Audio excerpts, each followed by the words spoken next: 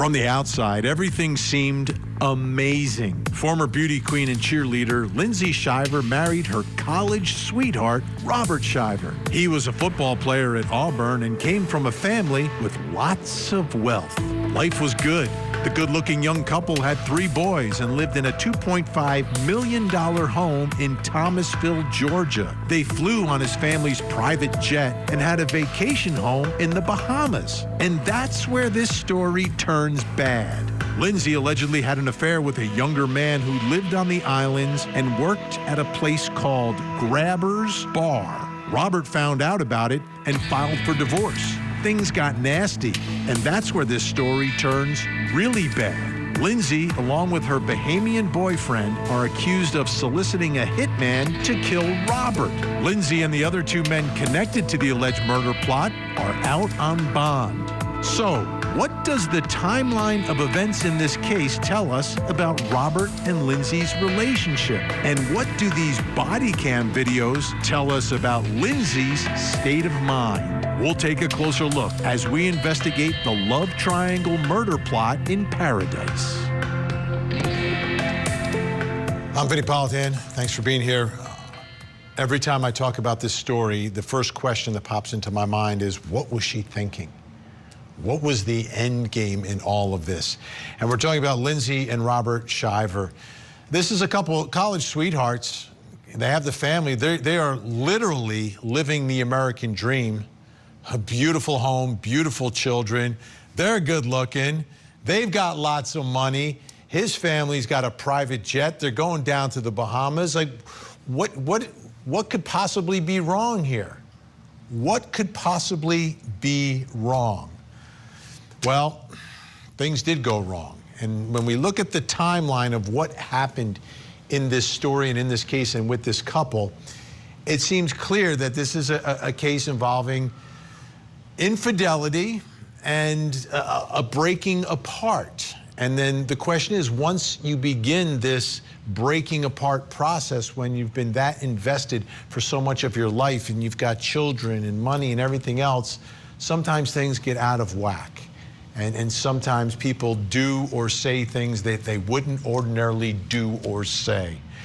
So, first, let's go through the timeline so we get an understanding for what was happening in the relationship between uh, Robert and Lindsay. On February 18th, Lindsay Shiver went away for a weekend trip without her family. On February 20th, Robert called 911, afraid Lindsay was setting him up. The last week of March, Lindsay, Robert, and the kids go to the Bahamas for spring break. On April 5th, Robert files for divorce. On April 6th, Lindsay files for divorce. On April 12th, Robert calls 911 about a strange package. On April 30th, Robert, his mother, and Lindsay call 911 during a custody exchange. On July 16th, Lindsay calls 911 because Robert won't let her on their private jet. On July 16th, Lindsay allegedly sends the kill him message to the hitman. On July 21st, Lindsay is arrested. All right, I want to bring in our, our, special guest to work through and try to figure out what exactly is going on in this relationship. Joining us, host of the Hidden Killers podcast, Tony Brueski, and criminal defense attorney, former prosecutor Tim Jansen, also with us, who knows a lot about this case as well. Um, Tony, I'm looking at this relationship. Am I getting anything wrong here? That before all this controversy sort of flares up, like this is a great life for everyone, a great life for him, a great life for her, and, and a great life for the three children. It really is. It's a, it's a perfect life. It's a wonderful life, at least on the surface. But like in so many cases that you and me both cover, all roads lead to narcissism. And I think that's what's happening here. And, and, the thing is with narcissists, they're pretty good at cutting off their own nose to spite their own face. And I think that's what has happened here. The level of entitlement that she had was absolutely stunning. But after 13 years of marriage, living this high life, I guess it, it, it's kind of the normal uh, for him. But all that being taken away from you, just the thought of that because of your own poor choices, it's too much to handle, especially if you are a narcissist or have narcissistic tendencies. So rather than deal with change like a healthy person, they go to extremes with this rage and this arrogance. and they believe that their actions are justified. Tim, what do you think went wrong in this relationship? What was it? Well, you know, you don't know. Um, in all fairness, you know, I'm a member of the same country club as Robert is. So I drive by that home every time I play golf. Um, she lived a charmed life. She had the children. Um, and it, it's clear if you look at her comments during that video at the house, after all this was breaking down and he caught her having an affair, she called the police so because she couldn't get on the private jet of his family to fly down and see her lover. The audacity. I think she just believed she could do whatever she wanted because she was a mother of the children. And it's crazy the life he provided the income, the family, his family had the house, um, and she was trying to take advantage of it even after um, her affair was uncovered. And then she decides to send this a picture and tells him that a hitman to kill this guy. Uh, it, the, the audacity is out is, is crazy. I want to play a 911 call that was made by uh, Robert, and he's calling and and he's really laying out what he believes is happening here. And there's, there's a bunch of things happening, including some strange packages that are showing up at his house. Let's take a listen. So, uh, my wife just got back from out of town, and I uh, believe that we are heading down the road of getting divorced. She just cut my cell phone off um, from Verizon. She called Verizon and had my cell phone disconnected. So I'm calling on my mother's phone at the Verizon store because the only way I can get it back active is if she releases it. Mm-hmm. So uh, I have to go over to uh, our home. And with the way that she is behaving, I feel like she might try and call the police to try to set me up as soon as I get there. And I wanted to try to get out in front of it because I'm not a, a risk of, you know, doing anything crazy. I'm just trying to go to my house, and if I need to pack my stuff and leave, I can pack my stuff and leave. This is chilling, Tony. Things are so broken in the relationship, and we know when people are breaking up, sometimes accusations fly back and forth. Sometimes people try to use law enforcement, you know, to kind of as, a wedge and as, a shield. Um, but he's very sophisticated, right, in his approach to mm all this. But things at this point clearly seem to be broken and he's very suspicious. Yet, when we go back to the timeline, after all this, they still go to the Bahamas for spring break. Yeah, I mean that's that's the plan at least, and that doesn't actually quite happen the way that they're thinking. We saw that video as well. But uh, with that that 911 call, good for him for getting ahead of this and not just acting on emotion. That's a scary thing to be realizing these things and putting things together, thinking that your loved one is capable uh, of plotting some sort of maniacal plot, which this kind of appears like it was, like making him paranoid, making him wonder: Is there someone out that's watching us? Is there something else that's going on here? Um, to to basically set him up uh, to for, for failure at the end of all this. You know, Tim, this is the other thing. I, I say this a lot that when you go to a courthouse in any town or city, people always think, oh, the criminal courtroom is the most dangerous. And I always say, no, no, no. It's the family law courtrooms that are the most dangerous because that's where the emotion takes over. Everyone is so invested in what is happening and it's a conflict. And, and, and, and I think you look at this relationship and as the breakup is going is going on, it seems like she kind of loses touch with with real reality in, in, in the way she's acting and reacting in these circumstances. It's it's almost like she has she's no longer herself. She's turned into someone else. And it might be because of the, the stress and strain of what's about to happen in this, this battle for children, this battle for money, this, this thing that's going to happen in the courtroom. And she knows she's going up against Robert and his family, who we know will have in, incredibly powerful attorneys, et cetera. Yeah, the family has good resources. Um, her mother-in-law and her played in the same tennis league at the club. And the friends that I've talked to said that, you know, Lindsay was a normal person and they, they were shocked when they found out what was happening. If you look at the video when the cops show up at the house during the spring break trip, um, Robert looks like a, a, completely. If I had a client that acted like his, I'd be very happy. He was reasonable. He was patient. He was explaining things. This video right here, and she just showed herself to be the arrogant, elitist, entitled person. And at the end of this, you'll see the deputy walks away and looks to the other deputy and says, "Money." Can you believe it? They're fighting over who's going to fly their private jet so she can see her lover. It's just crazy. And you're right. Uh, the most dangerous people are family law cases. My criminal cases, I've got bad people on good behavior. In family law, you got good people on bad behavior, and it's very dangerous. That's that's the best way to put it. I am going to steal that and use that from this point forward because that is so incredibly true. Um, so so Tony, when you look at her and where she came from, um, you know, she was a beauty queen at one point, but I don't think she grew up living the life that Robert necessarily did. No, I don't think she did uh, either. But uh, into her adult life, she was, you know, adored for her looks, adored for a lot of physical things, and maybe not so many deep things. And then as one gets older and life continues on, and you're living this kind of charmed life, you're a narcissist uh, you're, you're not quite happy with with the way that things have have panned out and maybe you want something more. And like i said earlier cutting off one's nose to spite their face they're very good at that and and don't even realize the damage that they're getting themselves into and then are shocked once there's repercussions for those actions. Okay our guests will stay with us. When we come back who are the bahamian defendants her co-defendants in the case who are they? What are their roles? And will they all stick together at trial?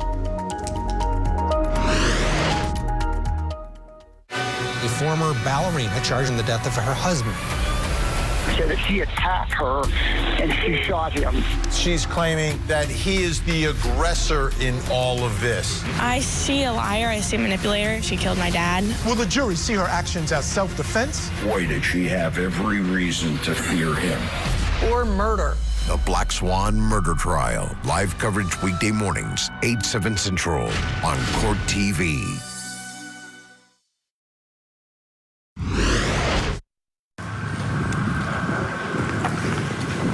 Oh, any comment? Do you still love Lindsay? What were you guys saying in court today? Would you ever want to hurt Robert, or is this all just accusations with no...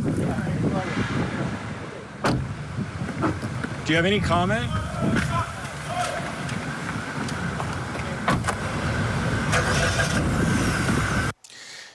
That's Court TV's Matt Johnson down in the Bahamas, tracking down Lindsay's lover after a court appearance. Everybody's out on bond in this case, but let's go through so you understand who everyone is and how they're connected to one another.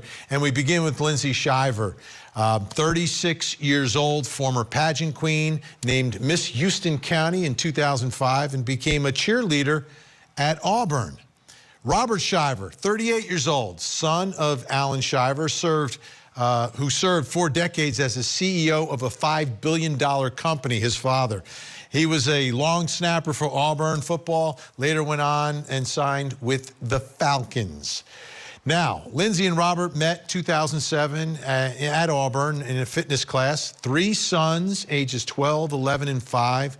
Married for 13 years, but Rob filed for divorce in 2023, citing an affair. That affair was uh, Lindsay with a man named Terrance Bethel. He's 28 years old, younger, uh, a Bahamian native. They met while she was vacationing in Great uh, Guana Cay, a resort island off the coast of Abaco, and he was working at Grabbers Bar and Grill. Now, Terrance Bethel is friends with a man named Faron Newbold. Faron, 29 years old, is a father of one. He's an aspiring music producer, the son of a very well-respected local politician in the Bahamas, and his day job is as a structural engineer at a power company. And what happens is, is Terrance Bethel allegedly connects Shiver with Newbold and texted Newbold, kill him with an image of Robert, her husband, on WhatsApp. Authorities found this during an investigation into a break in at Grabbers Bar and Grill. So someone broke in at Grabbers and they grabbed Terrance's phone and they found the message between Shiver and Newbold. The kill him message. All right, let's bring back in our guests. Still with us, Tony Brueski and Tim Jansen. Tim, um, looking at this case, there are three defendants in all of this. Um, and Bahamian law, a little different. I know for some time they all had the same lawyer. I don't understand that exactly. But it seems the defense to all of this may be oh, this was just a joke. What do you think of that defense? Yeah. That, well, that's their joke. And, you know, we discussed this before how the same solicitor could be representing all three. Um, it's not a joke that the penalties for this crime, conspiracy to commit murder in Bahamas, you look at 30 years to life. But, but together, uh, if you put the timeline together, and then you put down the comment, and then you put down the actual picture. So yet what you have, you have have words being given to a third party to commit a crime, and then she adds a picture so he knows who the person is they're asking to kill. That was done in furtherance of the conspiracy to commit the murder. They've done enough to convict them under Bahamian law.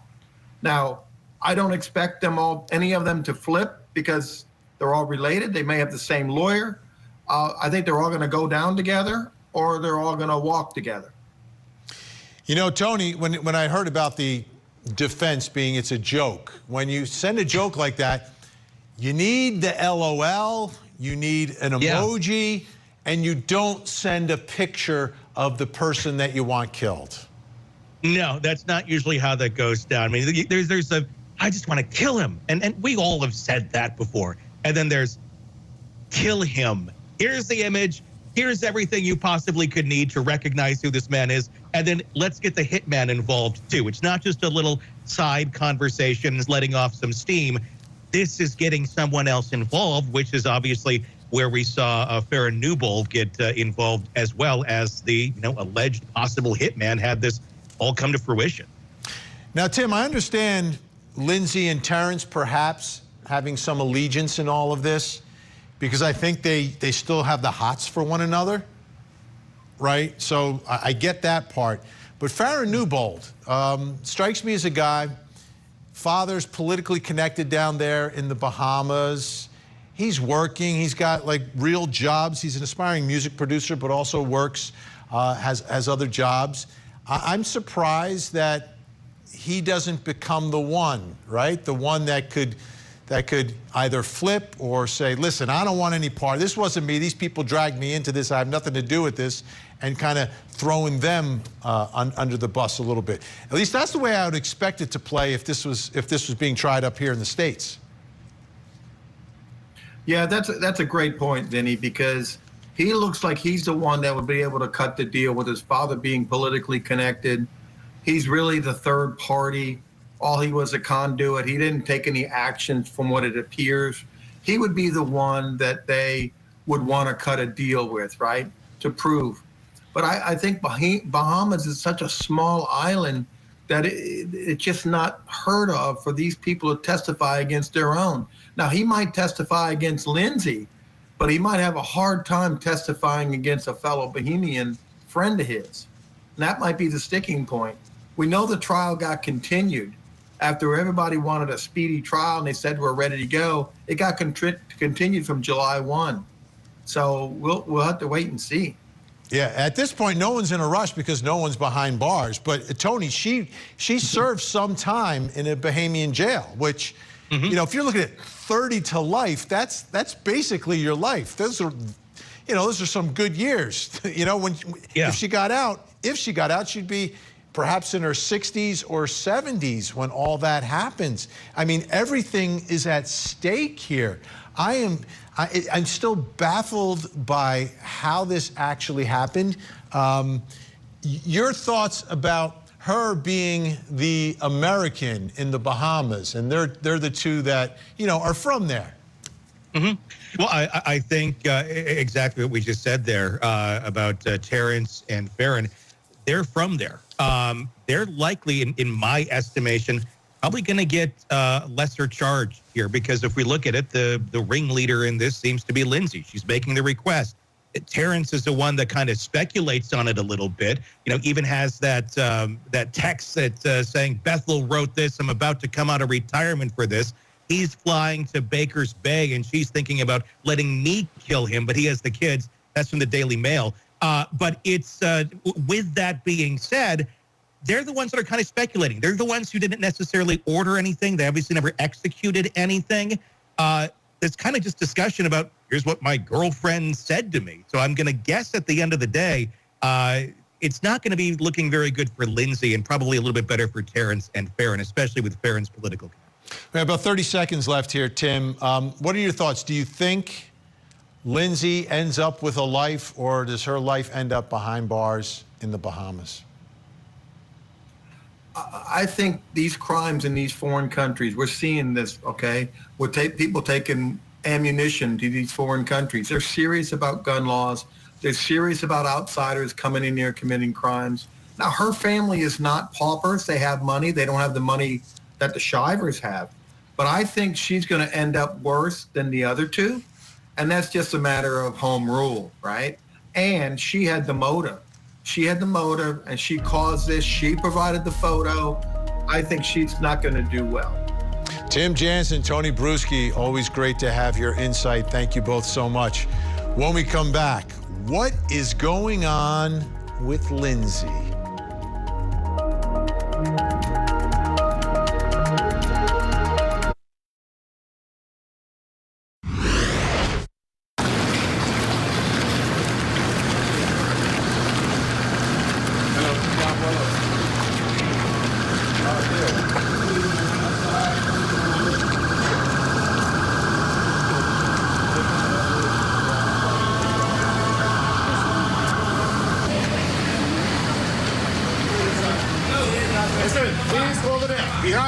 Lindsay, any comment for your family back home, your boys? How about Robert? Any message for Robert? Where are you staying here on the island? Will please go on the grass, bro. Put your sleep on the grass. You're not pretending lost. I can't do. No, we transfer the prison. Lindsay, you want to say anything about the allegations? Any message to Robert or the boys? tried to hire a hitman to kill your husband. Do you have any comment? Do you still love Lindsay? What were you guys saying in court today? Would you ever want to hurt Robert, or is this all just accusations with no. Do you have any comment?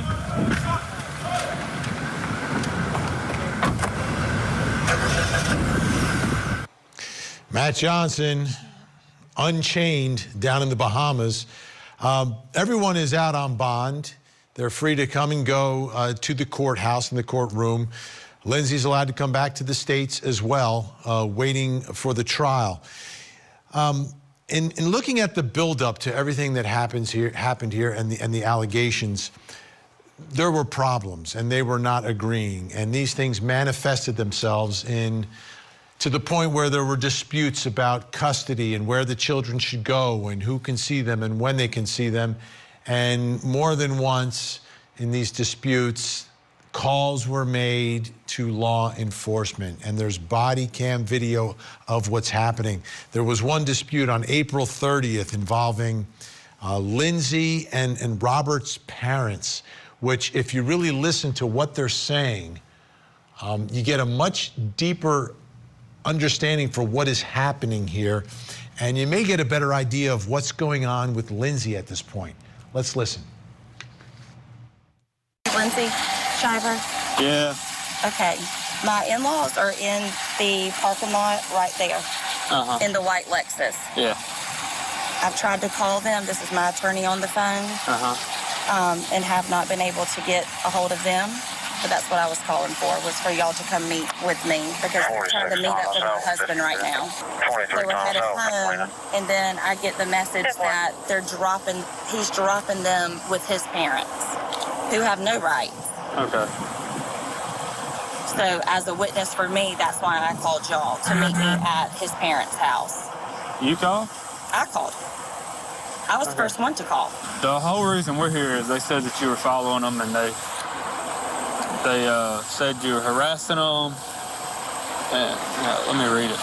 I'm pretty sure they said threatening them, but if you ain't talked to them, then I didn't talk to him at all. they were saying that you were following them, obviously, and that you got a gun, which No. isn't illegal. It doesn't No, it don't, It do- doesn't matter though. But I don't. And oh my God. yeah, Oh so my God. she, You're welcome to mother-in-law, my car. something is she's freaking out apparently, She's but hypomanic. but She's a mental issue. All Yeah. three of the people in the car have mental issue. Yeah, They don't need my kids. yeah, yeah. They're saying the same thing as well. Y'all don't know her. You don't know her like me. No, I don't. I don't know. Her. So it's, it's not a it, it's not a good environment. It's a toxic environment, and it's. Well, I mean, uh, considering not just you, but her own mom saying the same thing, I'd be inclined to believe you. We were headed to where our big home is up for sale because Robert was going to bring the kids and let us see him because Lindsay was not answering their phone calls all day today. So they thought she killed herself, to be honest, and had taken an overdose or something. Okay, let's try to get to the bottom of what's going on with Lindsay at this point uh, in the case, in the story. We'll bring in our experts joining us, psychotherapist, CEO of Life Counseling Solutions, Dr. Janie Lacey, and also joining us, nationally recognized parenting and family relationship expert. She has her doctorate in clinical psychology, Dr. Sue Kornbluth. Thank you both for being here. Dr. Janie, let me begin with you. Um, your thoughts about what's going on here with, with Lindsay? Well, my thoughts are with what's happening with her and Robert, right? There's a lot of intense emotions that are happening. And obviously, when we see her response, that there's probably been some buildup to this moment. Not only the, the affair, but probably even before this, that there's probably been some disconnection with the with the in-laws. So all of those family dynamics is really going to make sense once we find them out when everything comes out. So we see a lot of intense emotions. We see her reaction when she's hearing what they're saying about her. So it's almost like this war um, of who can have who can remain in control. You know, something that stuck out to me from the little segment that we watched, Dr. Sue, uh, was I called first. It seems like she knew that everybody was going to call here. Yeah. Well, Vinnie, she wanted to get on top of things and she wanted to be first in terms of calling so she could probably have a report that she could use when they go to court. This is all about control. It always is when we have cases like this that are so high conflict that are leading to divorce. It's who, you know, the two people in this, they usually believe their own version of the truth and a narrative that they want uh, to get out to the world, and they stand by that no matter what.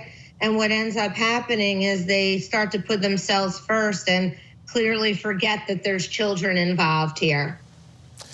Uh, Dr. Jane, let's talk about the, the affair itself. At this point of her life, they're together for 13 years, college sweethearts. We know the life that they were living together, really because of, of him and his family, uh, but it was a very luxurious life. Um, any thoughts about the choices that she made? When we look at their life, yes, it may be luxurious. It may look um, like they've have it all, but we also know that when it comes to real relationships, that that's just one dimensional. So whatever was truly happening inside that relationship, especially when women in particular tend to have affairs, sometimes there's been a long disconnection even before the affair may have happened. But then we also want to consider potentially personality traits and other types of things that may have played in these situations emotions. So when we're looking at this lay of the land, right, we also know that a lot of distorted thinking comes into play. So once someone has an affair, then they almost like there's a you know layman's term they get drunk with love so to speak. So they're all they're doing is consuming and thinking about getting their needs met through that silo. And then that when that happens a lot of people get hurt. Not only her husband but her children and then it becomes so self-focused about her getting her needs met. And then a lot of people get hurt in the process um, uh, Dr. Sue, I want you to take a listen. This is Robert on that same day making a 911 call, and he references a conversation he had with Lindsay's mom. Let's take a listen. My wife and I are going through a divorce, and I've been gone all weekend, and she just uh, threatened myself and my mother to bring the kids back. And her mom is saying to take her to the ER check her into some mental uh, some institution because we think she's having kind of a midlife crisis mental breakdown. So it's super unstable, and uh, she just followed my parents when they left the house trying to find the kids, and deputies were called. But since we live in a city, they said we need to call Thomasville City instead of the county. Okay. Did your parents have the children with them? No, the kids are with me. So, Dr. Sue, there seems to be some concern by Lindsay's own mom here. So, Vinnie, you know, that's no surprise to me. I think somebody with her profile and that she is having an affair and is not worried about the consequences that it is going to have for her family, her life. There probably was trauma in her past. I would suspect that there were problems um, in relationships growing up. She appears to me to be very immature. Uh, I agree with the other doctor that she probably did not have her needs met and she's trying to get them met now. And all this goes together to make a profile for someone that probably is suffering from some kind of personality disorder. Your guest before said it was narcissism. I don't know if it is or it's not, but a lot of times you will see in these custody battles that there is a sense of entitlement and control, and they want to get their needs met at any cost. And right now, for me, since I do so much work with families and children, the cost is these children. And when you're having an affair, unfortunately, you're thinking of yourself, not your children. And Dr. Jane, the other part is if we presume the prosecution's uh, allegations are true, and she's sending an actual text message for someone to take the life of Robert with that, that, that kill him uh, text message with a picture of him. Um, if that is true, what's the process that's going on up here for someone not just you know going through with the divorce? Like the children will be taken care of. She'll be taken care of as well. 13 years. Uh, your life is will, will be fine. Your life will be very fine. But once you take that next step, now you're, you're introducing this level of trauma to the whole family and to your own children. And that's where we're hearing the word narcissism thrown around, right? So sometimes when we see people that have these extreme behaviors where they're not thinking about consequences and they take it very to the extreme, then that's sometimes where we would consider and look at is there possibly some type of personality disorder because this is not normal behavior. Yes, there are people that have affairs every single day, but it does not necessarily mean that there's going to result in them trying to take out their spouse. So we know that they get divorced, and as you mentioned, they can have, um, yes, a lot of stress and these types of things. But we see that under these stressful situations where her husband had found out she's having an affair and her not necessarily um, probably having some level of empathy for him, but almost this level of not wanting her life. We can assume that wanting her life to be disrupted. And that's where we see the lack of coping skills and just really getting super focused on just removing the problem in these extreme situations. That's where we we can suggest that there's probably other things going on with her versus just our normal way of coping with discovering of her affair. Dr. Janie Lacey, Dr. Sue Cornbluth staying with us when we come back. We're going to dig into another situation. This was the infamous video as they're going away and she wants to use the private jet to go see her lover. Of the most successful true crime TV shows ever. This is crazy. Now has a new home on America's original true crime obsession, 48 Hours on Court TV. Coming up next on Court TV. This week, We'll get you ready for the proceedings each day in the Black Swan murder trial. Plus, Friday, a voice for victims and the tragic case of Rachel Morin.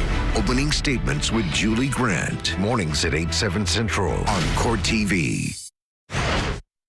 Where's your husband been staying? Oh, at my house. Okay. It's a lovely situation. So he just isn't home. He hasn't come home yet. Mm-mm. Okay. At my house. Interesting. So I want to play for you this video. We've been talking about it a lot. This is what we call the travel dispute.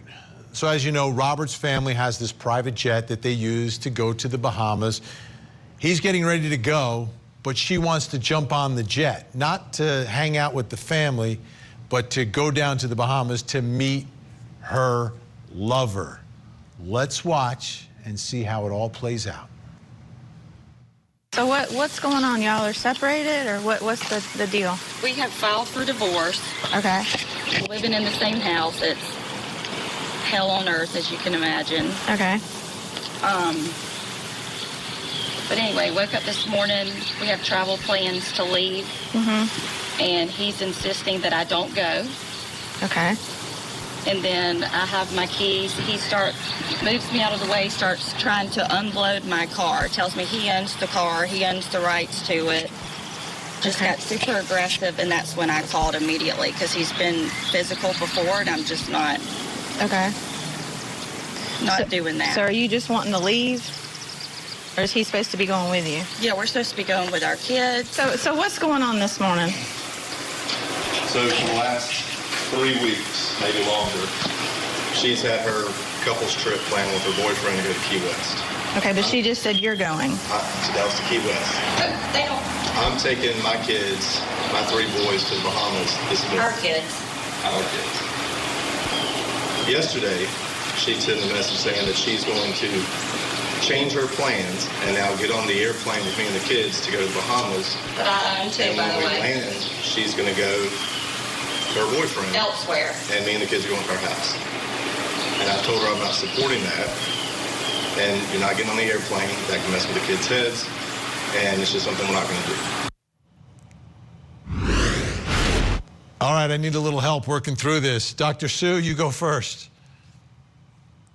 Vinnie, do you really want the cops coming to your house and interviewing you about a trip that you're taking? I mean, this to me is absolutely ridiculous.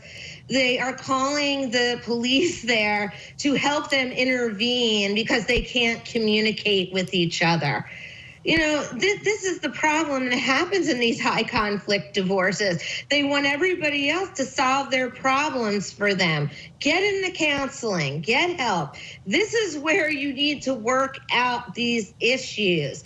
He says right there she's going to see her boyfriend. Well, these are the issues that need to be worked out between the two of you. The police, the family courts are not there to help you work through this stuff. It's for you two to do this. She's entitled. You see it over her face. We don't know if violence happened here or not. She's claiming this, and he's remaining as calm as could be. This is just absurd. Dr. Janie Lacey, your, your analysis of the relationship and situation here that we just watched. Well, he has every right to have a boundary, especially when his wife is having an affair and planning a trip to be with her lover, right? So we listen to him. He has a right to have a boundary. He has a right to request her not to go and use their family property in order to carry out her extramarital affairs. But then on the other hand, when we're hearing her saying she's called them because there's been physical um, altercations in the past and she wasn't going to do that, you know, we don't want to necessarily assume that she's crying wolf, but sometimes in these cases when there's high entitlement and there's almost this disconnection from reality that these things can be manipulated in order to have the one up and try to, you know, show some level of entitlement that she's not going to back down. So in these situations that we're looking at, it's just so dysfunctional. But he does have a right to have a boundary, um, especially with given the situation and her kind of pushing through that and wanting to still go and see her lover with disregard to anyone else's feelings just shows the disconnection of reality and potentially how long this has been going on. When we see people that have such a disconnection from the consequences of their behavior, it's usually because they become numb to it because it's been going on for a while. And when you put this into context of what happens next, five days later is when she gets arrested as allegedly being part of this plot to take him out. Um, I want to take a look at something else that is happening uh, in all of this. So, obviously, the arrest takes place. She's in a, a Bahamian uh, jail for a while. She gets freed. She's allowed to come back to the United States. She does get some level of visitation, uh, but other than the visitation, she has to stay out of the state of Georgia. Um, but something else happens in Robert's life. Robert, who goes from this high profile case, moves into a high profile relationship with Savannah Chrisley, reality show star. And on her podcast, Unlocked with Savannah Chrisley, she discussed the beginning of her relationship with Robert. I spilled the beans and was like, yeah, I'm dating someone who their wife like tried to murder them. It's such a complex situation of someone that, yes, like filed for divorce in the first half of the year. I would never date a actively married person. I want to make that very clear. My whole situation, it's given me so much respect for single dads because also I'm like seeing it firsthand. All right, let's talk about this relationship a little bit, Dr. Sue. So, Savannah Chrisley, her parents are both in, in prison. They're reality show stars, then got caught up with some tax issues, etc. They had trials. They're gone for a while. She's very high profile. This case was high profile. He's an alleged victim in all this. Um, can it work?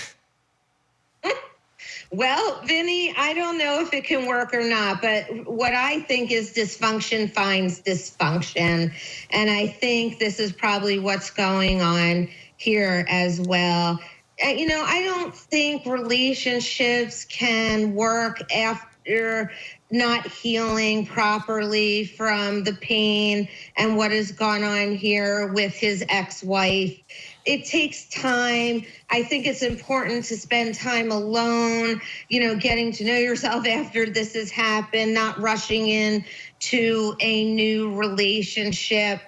To me, this just screams dysfunction that you know, he can't be alone. He needs someone. She needs someone and again, you know, where are the children in all of this? I keep saying that because we're not thinking about the children. We're exploiting and talking about what these parents are going through. And the children are the ones in the end that are going to suffer the most from this. We only have about 15 seconds left, Dr. Jenny. You want to put a bow on all this tonight? Well, these dysfunctional love triangles, Vinnie, we can probably assume that it will not last, right? Because he is the victim here. His um, soon to be ex wife or ex wife is the villain. And this person coming in and rescuing, as she said, has a different viewpoint of him being a single dad and these types of things. So, very dysfunctional. And they all need to really get to the place of healing. And as my counterpart said, especially for these children who will one day be able to look back and see all of this that's playing out on the screens. Yeah, let's let's hope the children are, are doing well and our best to everyone there. Dr. Jenny Lacey, Dr. Sue Cornbluth, thank you both so much. Speaking of children, before we go, take a look at your television screens. We have a missing child tonight, Summer Marie Harbison. Summer is missing out of Columbia, Maryland since July 16th, only 15 years old. Here's what I need you to do. If you see Summer, take a look at her face. If you see her, Pick up the phone, make the call, 911 1 800 The Lost, or you can call the Howard County Police Department in Maryland, That phone number is on our screen. Let's see if we can get Summer to a safe place tonight. I'm Vinnie Politan. Thank you for watching. Have a great night. And as always, please don't forget to hug the kids.